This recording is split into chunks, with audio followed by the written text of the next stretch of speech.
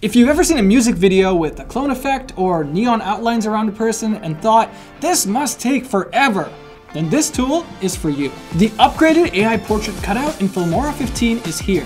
It makes your cutouts look more natural, especially around hair and tricky edges. Select your video on the timeline. Head over to the video panel, go to AI matting, and select AI portrait cutout. Turn it on.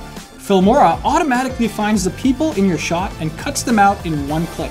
With the new upgrade, it now handles hair and other semi-transparent details much better. It also recognizes and keeps props in hand like phones, mic, or bags. If there are multiple people close together or overlapping, the upgraded model more accurately separates each person. Now, you can add effects. Drop a new background behind your subject. You can also add effects like glitch, neon, or cloning around the cutout person. So if you want easy background swaps or trendy effects without a green screen, try the AI portrait cutout in Filmora 15.